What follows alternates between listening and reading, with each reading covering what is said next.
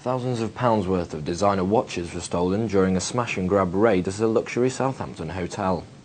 The brazen thief hurled a stone at a display case in the foyer of the De Vere Grand Harbour Hotel in the city in a bid to steal the expensive watches inside. Stunned staff looked on in horror as the glass case shattered on impact with the stone, allowing the man to grab the contents and run off.